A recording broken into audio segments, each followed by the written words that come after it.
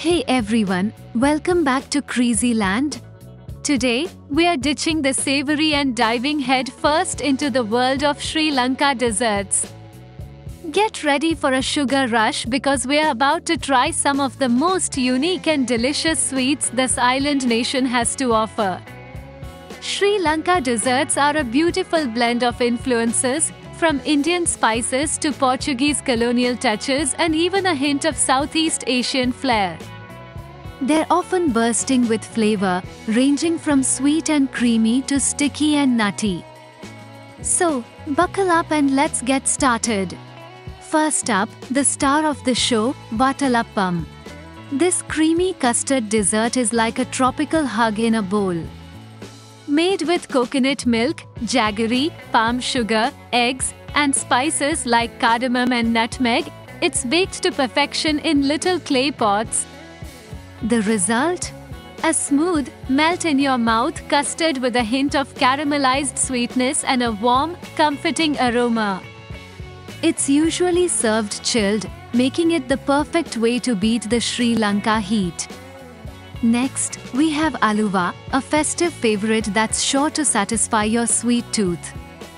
Imagine thin, crispy rice flour pancakes studded with cashews, almonds, and pistachios, then drizzled with a sweet syrup flavored with cardamom and rosewater. The combination of textures is amazing. The crispy pancakes give way to a soft, chewy center, and the nuts add a delightful crunch. Aluwa is often served during special occasions like weddings and festivals, but you can find it in bakeries and street vendors all year round. Kiribath, which translates to milk rice, is more than just a dessert. It's a cultural icon, a symbol of purity and prosperity often served at auspicious occasions like New Year's and temple offerings. Made with fragrant rice cooked in coconut milk and sweetened with jaggery, Kiribath is simple yet elegant. It's often served with a sprinkle of cinnamon or grated coconut, adding a touch of warmth and texture.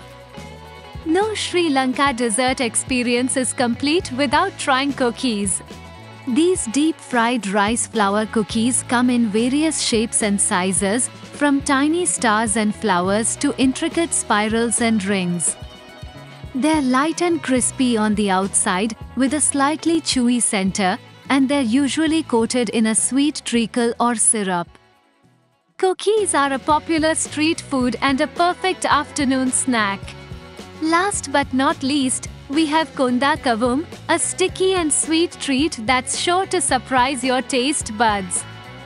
Made with rice flour, jaggery, and sesame seeds, Konda Kavum is steamed in banana leaves, giving it a unique earthy aroma. The texture is somewhere between a chewy candy and a sticky rice cake, and the sweetness is intense and satisfying. Be warned, Konda Kavum is addictive, so grab a napkin. And that's just a taste of the amazing world of Sri Lanka desserts. From creamy custards to crispy treats, sticky sweets to nutty delights, there's something for everyone. So, if you're ever in Sri Lanka, be sure to ditch the diet and indulge in these delicious local treats. Your taste buds will thank you. Remember to like and subscribe for more crazy land adventures and let us know in the comments below what your favorite Sri Lanka dessert is. Bonus tip if you're feeling adventurous, try making some of these desserts at home. Many recipes are quite simple and only require a few basic ingredients. I hope you enjoyed this sweet journey through Sri Lanka desserts. Until next time, happy eating!